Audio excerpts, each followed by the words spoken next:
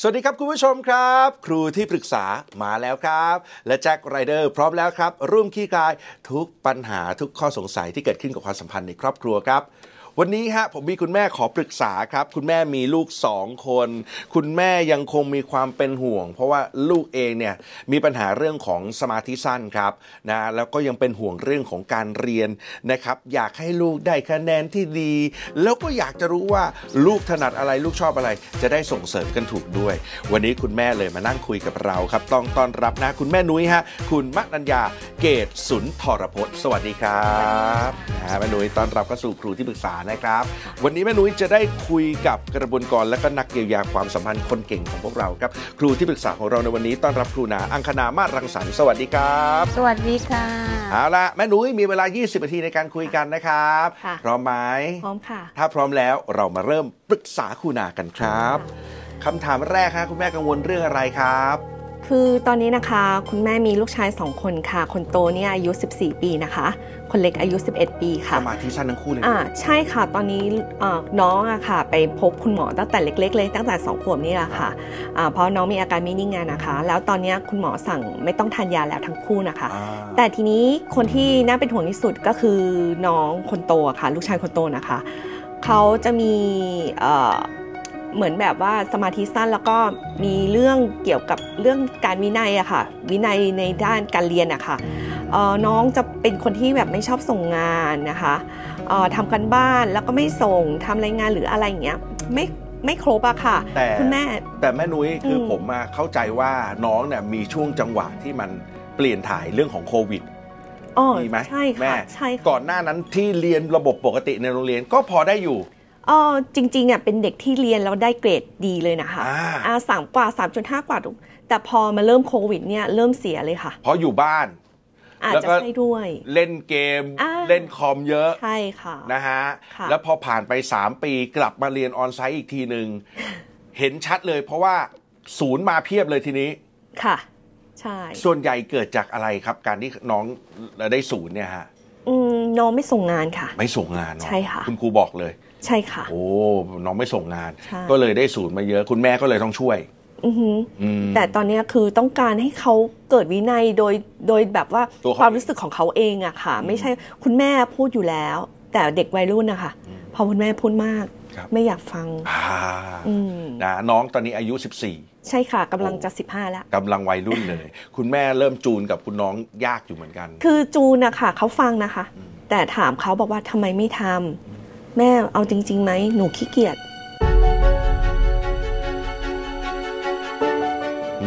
ไม่ใช่หนูไม่รู้หนูรู้แต่หนูขี้เกียจอืมอืมอืมนะฮะนั่นแหละค่ะอยากจะให้เขามีความรับผิดชอบด้วยตัวเอง โดยเฉใช่พาะค่ะเรื่องของการเรียนใช่เพค่ะราะมันคือชีวิตเขาเลย ถูกค่ะอะทำอย่างไรดีครับครูนาครับ ขอคำปรึกษาหน่อยครับ ช่วงแรกได้ยินว่าลูกเป็นลูกทั้งสองคนเป็นสมาธิสั้นอย่างเงี้ยเหรอคะ คือคุณครูที่ดูแลน้องอะค่ะ ตอนอนุบาลอะค่ะครับเขาแนะนำให้คุณแม่พาไป เพราะว่าน้องมีอาการไม่นิ่งเลยอืมอืมแล้วส่วนพี่กายเนี่ยเป็นตั้งแต่เล็กแล้วค่ะ เขาจะมีอาการพูดช้านะคะ แล้วพอเวลาจับปากกาหรือดินสอจะกำมือตลอดเลยคุณหมอเขาก็เลยแนะนำว่าโอเคไปพบคุณหมอนะคะอืมอ่าที่โรงพยาบาลแล้ว พอได้รับการวินิจฉัยจากคุณหมอทางจิตเวชอะค่ะเขาก็บอกแนะนำเลยว่าควรพบแพทย์นะคะอะไรเงี้ยอ่าแล้วน้องก็พบแพทย์กันมาตั้งแต่สองขวบอืมคนโตนี่มีอาการอาการนี้ค่ะ ในเบื้องต้นส่วนคนเล็กนี่ก็จะประมาณไฮเปอร์แลคทีฟค่ะอ๋อค่ะค่ะอะ ยังไงดีครับครูนาครับผม สิ่งที่น่าสนใจก็คือ บอกว่าคนโตเนี่ยในอดีตก่อนโควิดเนี่ยเคยได้ 3.5เหรอคะใช่ค่ะเรียนดีค่ะอ่า ตอนที่เขาเป็นสมาธิสั้นแล้วมาเรียนแล้วก็เกิดได้ 3.5 เนี่ย ตอนนั้นเกิดอะไรขึ้นคะ คือก่อนที่จะได้3.5 ค่ะ 1.5 1.8 1.9 แล้วก็มีจุดพลิกผัน ประมาณป .3 ป .4 เนี่ยค่ะ อยู่ดีๆเขาก็เรียนดีเลยอืมอืมแต่พอประมาณป .5 ป .6 ซึ่งจะขึ้นม .1 อะค่ะ เขาก็เริ่มไม่ส่งงานละแต่ถ้าถามว่าเขาสามารถสอบโรงเรียนประจำจังหวัดได้อะค่ะ คือจริง ๆ แล้วอะ คือถ้าถามนุ้ยนะคะ เรียนรู้เรื่อง แต่มันจะมาคะแนนตกตรงที่ไม่ยอมส่งงานนะคะค่ะพอดีจำเทปอันหนึ่งได้เนอะครับแจ็คที่เราเคยอัดกันไว้ครับเป็นชื่อตอนเติมรัก เยียวยาหัวใจอืมลูกให้เบิกบานครับ ซึ่งก็จะเป็นเรื่องเกี่ยวกับเด็กที่เป็นอ่าเหมือนออทิสติกอืมแล้วก็แก้ปัญหาโดยการเยียวยาใจอืมค่ะ คืออันนั้นอะ เป็นเทปที่เราคุยกันถึงว่าเวลาที่เด็กทำอะไรไม่ดีครับ แสดงว่าข้างในจิตใจเขาอะมันมีบางอย่างที่มันขุ่นมัว หรือว่าเป็นอุปสรรคครับ เช่นอาจจะมีครูคนหนึ่งที่ดุเขามาก ๆ แล้วครับเขาก็ไม่ชอบ เพียงแค่วิชาเดียวนะคะอืมหรือว่า อาจจะติดอุปสรรคอะไรสักอย่างหนึ่งกับการเรียนอย่างเงี้ยค่ะ เพราะว่ามันมีความผิดปกติว่าเคยเรียนไม่ดี แล้วอยู่มาเรียนดี แล้วอยู่ดีก็ไม่อยากเรียนอีกแล้วค่ะคุณอาก็เลยมองว่าอาจจะมีอะไรที่เป็นขุนข้องหมองใจติดหัวใจเขาอยู่ ใช่ค่ะ ก็การชวนให้ลูกได้กลับไปทบทวนว่าในครั้งหนึ่งที่ลูกทำมันได้ดี มันก็ทำให้ชีวิตของลูกดีเนาะคราวนี้เวลาเด็กเหล่านี้ถ้าเรา ไกด์เขานิดนึงว่าลูกรู้ไหมท้ายที่สุดเนี่ย เวลาที่ลูกตั้งใจกับมันในช่วงสั้น ๆ เนี่ย บางทีนางก็คุยกับลูกแบบตรงๆนะว่า ถ้าเราอยู่กับการเรียนไม่ดีเนี่ย ความทุกข์เรามันจะยาวนานมาก กับอยู่กับสิ่งที่ไม่ชอบเนี่ยยาวนานมากครับดังนั้นการที่แบบลูกเคยทำมันได้ ลูกทำได้ดี ลูกเบื่อมันลูกก็ทำให้ตัวเองอยู่กับสิ่งเนี้ยสั้นลงสิ ก็คือ ตัดใจตั้งใจซะแล้วเดี๋ยวลูกก็จะทำได้ ก็เด็กบางคนพอเขาเข้าใจเขาก็รู้สึกได้ว่า เออ ก็ตั้งใจเรียนนิดนึงก็ทำได้ดีแล้วแล้วไม่ต้องกลับมาเรียนซ้ำไม่ต้องติดศูนย์ไม่ต้องมาแก้รออะไรอีก แล้วเขาก็จะพบเองว่าจริง ๆ ชีวิตเนี่ยพอเราตั้งใจเราก็ทำมันได้ซะ แล้วเราก็อยู่กับความทุกข์สั้น ๆ เพราะว่าช่วงที่เราตั้งใจมันเราโฟกัส เราอาจจะรู้สึกทุกข์หรือว่าเบื่อเนาะแต่เขายังไม่ได้เห็นภาพว่าไอ้ที่เธอบ่นว่าขี้เกียจไม่อยากทำอะ่ะ จริง ๆ เธอต้องอยู่กับความทุกข์อันเนี้ยยาวนานมากเลยอืมแล้วมันน่าเบื่อกว่าไหมลูกที่จะต้องโดนตามตัวเออโดนให้แม่จะต้องมาพาไปแก้ศูนย์ แล้วก็ท้ายสุดบางทีลูกอาจจะต้องไปเรียนพิเศษ แล้วก็อยู่กับความเบื่อเนี้ย ยาวนาน สู้ทำให้มันตั้งใจเลย แล้วก็ทำให้มันได้ แล้วลูกก็จะสามารถใช้ชีวิตอยู่กับสิ่งที่ลูกอยากอยากทำอย่างมีความสุขได้โดยสบายใจ ผมว่าแม่นุ้ยสื่อสารได้อยู่แล้ว เพราะแม่นุ้ยมั่นใจว่าเขาว่ามีศักยภาพพออยู่แล้ว ใช่ถูค่ะกไหมคือเขาเป็นคนเก่งอะเพียงแต่เขาอาจจะมีติดอะไรอยู่ในใจ หรือว่ายังไม่ได้มีคนแกะปมเล็ก ๆ เนี่ยออกไป หรือว่าชี้ให้เขาเห็นว่าจริง ๆ เขาสามารถทำได้ค่ะถ้าเขาเบื่อ เขาไม่ทำการบ้าน ไอ้การบ้านก็ยังไม่เสร็จอยู่งั้นอะคาใจเขาไปอืมใช่แต่ถ้าอึบเดียวทำไม่เสร็จที่เหลือสบายแล้ว คุณแม่ก็แนะนำไกลอย่างนี้เหมือนกันค่ะนะเพราะว่าเพียงแต่ว่าคุณแม่หวังแค่ว่าสักวันหนึ่งอะน้องน้องจะคิดได้เหมือนที่แม่พูดนะอะไรอย่างเงี้ย แต่เขาก็บอกว่าเขารู้นะ ว่าเขาทำแบบเนี้ยมันไม่ดี เขารู้แต่แบบผมจะพยายามพูดแต่พยายาม แล้วพอเวลาทำอะไรก็จะพูดกับตัวเองครับต้องอย่างนั้นสิเฮ้ยต้องทำได้สิต้องอะไร อันเนี้ยแม่คอยดูห่างๆแบบครับบางทีแม่ก็ไม่เข้าใจนะพูดกับใครล่ะลูก แต่เขาพยายามค่ะ แต่แบบแต่ต้องให้เรากระตุ้นฮะนิดนึงฮะอ่าแต่เราจะไม่ดุค่ะ แต่จริงๆผมว่าดีแล้วนะฮะอย่างน้อยเนี่ยผมฟังคุณแม่พูดอย่างนี้ยแสดงว่าคุณแม่เข้าใจในตัวเขาแล้วล่ะ และไอ้ใช่ความมันที่คุณแม่เข้าใจเนี่ยโอ้ขโหอมันขอโทษเมื่อกี้ครับได้ยินประโยคนึงที่คุณแม่พูดอะซึ่งจริง ๆ อันนั้นน่ะคือกุญแจเลยที่คุณแม่ควรจะเอ่อตั้งใจจำไว้ว่า ลูกเนี่ย พอพูดมาก ๆ เนี่ยเขาก็ไม่ชอบเขาก็ไม่อยากฟังใช่ไหมครับเพราะฉะนั้นคำพูดของเราอะพอเวลาที่เราพูดปุ๊บมันกลายเป็นไม้แล้ว แล้วเขาก็ปิดสวิตช์หูอืมเหมือนหูดับอย่างเงี้ยอืมอย่างเงี้ยคุณแม่จะเหนื่อยมากเลย แล้วก็ต้องพูดซ้ำๆอ่าเพใช่ราะฉะนั้นคุณแม่ก็ต้องแบบเหมือน อ่าไม่ค่อยพูดบางทีก็เดินเข้าไปจับตัวรูปหลังอืมให้เขารู้ว่า แม่ดูเธออยู่นะอืม แม่อยู่กับเธอนะ อยากให้เธอมีความสุขอยากให้เธอมีชีวิตดี ๆ นะอะไรเงี้ยค่ะอ่านานๆพูดทีแล้วก็ทำให้คำพูดของเราอะศักดิ์สิทธิ์อืมอ่าบางวันก็เอาเขามาบอกว่า เออเรานั่งคุยกันหน่อยเนาะทำให้เขาอยากฟังเราครับแล้วก็ไม่ได้รู้สึกว่าคำพูดของเราเนี่ยมันน่าเบื่อแล้วก็ปิดสวิตช์ไม่รับฟัง คือแทนที่แม่จะรู้สึกว่า โอ้ พูดบ่อย ๆ เขาจะได้จำ กลายเป็นว่าความจริงแล้วลูกในวัยรุ่นเนี่ย คือยิ่งพูดบ่อยยิ่งปิดสวิตช์หูใส่เรา ใช่ค่ะ อืมแล้วคุณแม่ก็จะเหนื่อยฟรีเลยค่ะ แทนที่คุณแม่จะไปได้นั่งทานอะไรอร่อยๆสบายฮะๆหรือนั่งทำงานด้วยความสบายใจเนาะตัดเอาชีวิตตัวเองอะมาโฟกัสอยู่กับตัวเอง ครับไม่รู้ว่าคุณแม่เคยเคยเคยได้ยินแบบนี้มาก่อนไหมคือ ยิ่งพูดเยอะเขายิ่งปิดสวิตช์หูใส่เรา อย่าว่าแต่ลูกเลยค่ะ แม่ยังไม่ชอบเลยอ๋อนี่ไงโอ้คุณแม่แต่ว่าคุณแม่นี่มีคีย์ของตัวเองอยู่แล้วนะครับ ลองทำดูนะคุณแม่ใช่ค่ะนะฮะแล้วเปลี่ยนได้เปลี่ยนไม่ได้ยังไง เดี๋ยวคุยกันอีกที แต่ตอนนี้ใช่คุณแม่เคลียร์กับกับคำถามนี้นะจ้ะอ่าอ่านะครับอะคุณแม่มีเวลาอีก 9 นาทีกว่าครับนะฮะคำถามต่อไปปรึกษาคุณนาต่อได้ครับเอ่อช่วงที่น้องเริ่มเรียนออนไลน์อะค่ะ คุณครับครูอ่าช่วงนั้นนะนะก็คือน้องกำลังขึ้นมหนึ่งอะค่ะ คือผัดจากช่วงปฐมวัยนะคะ เป็นช่วงมัธยม อันนี้คือคนโตเนาะอ่าใช่ค่ะ แล้วทีนี้ว่าตอนนั้นก็อย่างที่บอกโควิด ก็เรียนออนไลน์ คุณแม่ก็ทำแต่งาน ก็ไม่มีเวลาไปดูน้องอะนะคะ ซึ่งเขาก็ส่งงานกันในในออนไลน์หรืออะไร บางทีคุณแม่ไม่ทราบเลยค่ะอ่าสรุปไปไปมา ติดศูนย์ติดรออะไรเงี้ยอ้าวมารู้ทีหลังว่าเขาไม่ส่ใช่งงานค่ะแล้วเขาพอเราถามก็บอกส่งแล้วส่งแล้ว ในที่สุดเราก็มารู้วันที่เขาติดศูนย์อะไม่เป็นไรพอมสองค่ะ เริ่มไปออนไซต์พอออนไซต์ก็คือเรียนต่อไม่ได้แล้วงงไปหมดเลยจากเด็กที่เรียนเลขเก่งกลับกลายเป็นว่าฉันไม่เข้าใจละเลข ฉันจะไปต่อยังไงดี แล้วก็ผลออกมาก็ติดศูนย์อีก แต่ปีนี้ย่ำแย่กว่าเดิมค่ะไม่ยอมไปแก้ จนล้ำมานะตอนนี้ขึ้นม 3 เทอมหนึ่งแล้ว ก็ไปตามแก้ค่ะ แต่ยังดีที่ตามแก้นะคะครูตามแก้หมดละอ่าแล้วทีนี้ว่าณตอนเนี้ยเป็นห่วงว่าปีถัดไปอะค่ะน้องจะไปต่อสายสามัญดี หรือว่าต่อสายอาชีพ ซึ่งตัวเนี้ยคุณแม่ได้สอบถามกับทางน้อง น้องยังไม่ค่อยเข้าใจเลยค่ะ ว่าเขาขึ้นสายต่อไปเนี่ยเขาจะไปยังไงอะไรยังไง พอจะมีวิธีการที่จะแนะแนวน้องได้ไหมคะโอ้โอ้ค่ะยังไม่เห็นอนาคตตัวเองครับนะฮะวัยรุ่นนะฮะ ก็เวลาที่เขาอยู่ว่างๆเขามักจะทำอะไรคะเออส่วนมากก็เขาชอบไปทางคอมพิวเตอร์ค่ะ เพราะว่าจากที่แม่ดูอะวิชาเกี่ยวกับคอมพิวเตอร์เนี่ยเขาจะทำได้ดีมาก ครับ ได้เกรดสี่ตัวเดียวเลย โดดอืมอ๋อๆอ่าค่ะ ค่ะ ในในทางคอมพิวเตอร์เนี่ยมันมีแขนงวิชาแล้วก็อาชีพ เยอะแยะมากเลยนะคะ ทุกวันนี้เกือบทุกอาชีพจะต้องใช้งานผ่านคอมพิวเตอร์ ครับแม้กระทั่งศิลปะตอนนี้คนก็วาดรูปด้วยคอมพิวเตอร์นะคะครับค่ะงั้นคุณแม่ลองดูเขาให้ชัดๆนะคะคอยแอบสังเกตว่ากับคอมเนี่ยเขามักจะใช้งานมันในการทำอะไร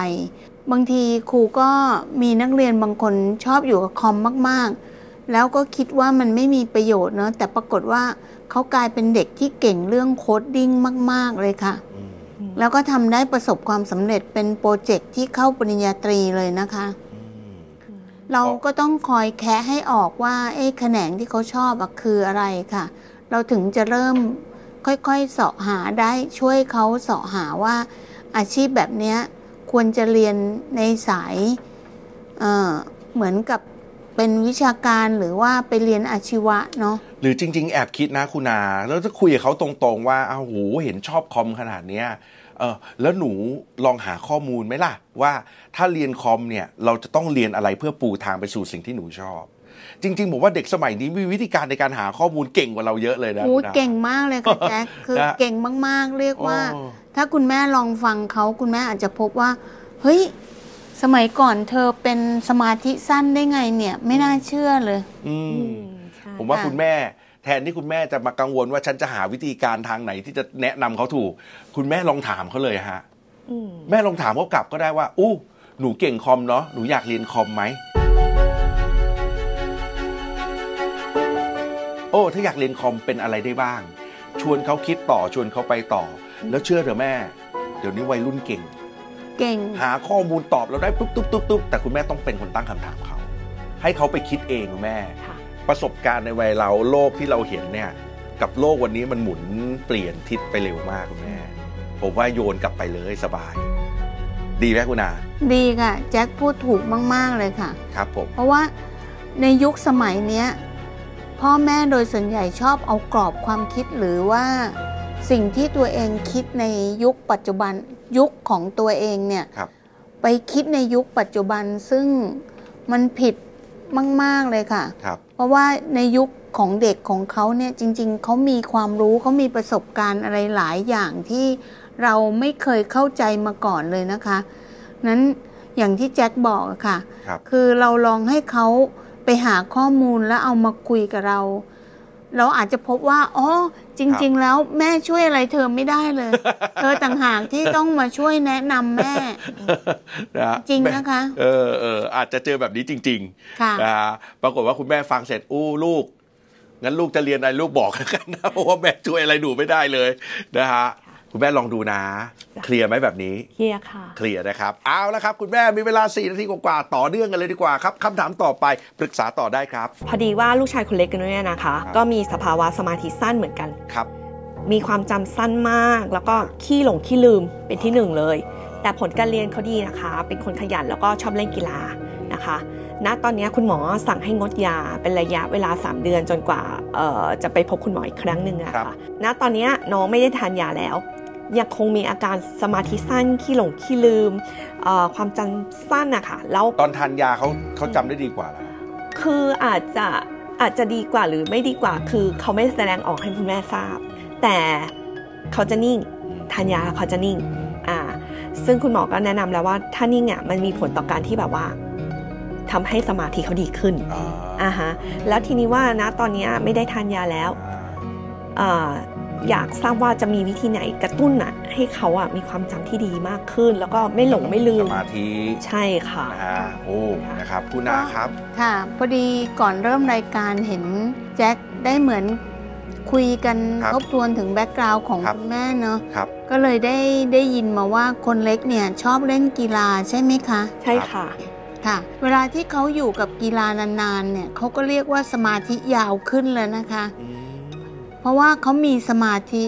เด็กบางคนหรือมนุษย์ทุกคนเนี่ยบางทีสมาธิก็เกิดจากสิ่งที่เขาสนใจอืมแล้วก็ทำมันได้นายาวนานขึ้นอืมดังนั้นถ้าเขามีความสนใจในการใช้ร่างกายของตัวเอง ไปเล่นไอซ์สเก็ตเล่นครั้งเดียวแล้วเล่นอีกทีนึงได้เนี่ยนั่นน่ะถือว่าเป็นศักยภาพพิเศษของร่างกายเขาอืมนั้นก็มีคนที่ ประสบความสำเร็จระดับโลกเนอะเป็นการเป็นผู้ที่ออกแบบท่าเต้นละครเวที คนเนี้ยก็เคยถูกวินิจฉัยว่าสมาธิสั้นอืมแต่เขาโชคดีที่ได้ไปเจอคุณหมอ ที่เห็นอากับกิริยาของเขาที่แบบจะต้องใช้ร่างกายของเขาออกท่าออกทางตลอด คุณหมอก็เลยลองเปิดเพลงให้คุณแม่ดู แล้วปรากฏว่าเด็กคนเนี้ยก็แบบเหมือนเต้นไปกับเพลงแล้วก็อะไรอย่างเงี้ยคุณหมอก็ น่ารักมากคุณหมอก็แนะนำคุณแม่ว่าลองเอาเขาไปเรียนเกี่ยวกับการใช้ร่างกายอืมเขาก็จะหาย และเด็กคนนี้ก็เลยโชคดีมากที่โตมาอยู่กับการเต้นแล้วท้ายสุดก็เป็นนักออกแบบท่าเต้นเวละครเวทีระดับโลกเลยค่ะโอ้โหคุณแม่เนาะชีวิตของเด็กๆ ไม่ได้มีแค่การเรียนใช่ไหมฮะ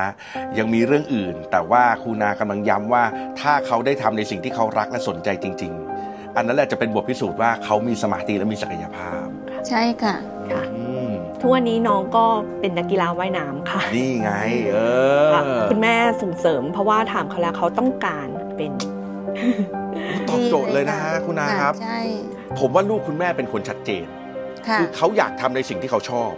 แล้วคุณแม่ก็เป็นคนที่สังเกตลูกแล้วก็ทำความเข้าใจกับลูกได้ดีมากเลยนะคะ ขอบคุณค่ะ ค่ะ โอ้โห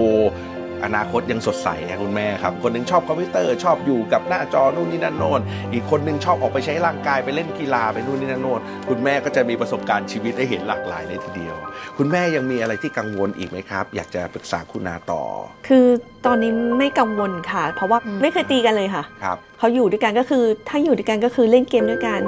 อืมเขาจะไม่ชอบออกจากบ้านชอบทำกิจกรรมในบ้านร่วมกัน คุณแม่ชวนออกไปไหนเขาเขาเป็นยังไง คนโตจะไม่ไปค่ะ แต่คนเล็กร่วมทุกกิจกรรมที่มีค่ะ ของอ่าไทย PBS น้องก็มาอ๋อคุณนากลายเป็นว่า โอ้โหมีลูกที่มี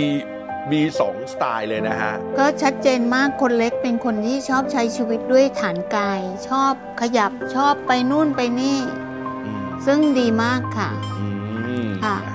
สบายใจได้แล้วครับคุณแม่ครับค่ะแบบนี้เคลียร์เลยไหมฮะ เดียค่ะเคลียร์นะฮะแล้วก็อย่างที่บอกครับเป็นกำลังใจให้คุณแม่ด้วย ไม่ต้องกังวลมากนะฮะลูกชายคนโตก็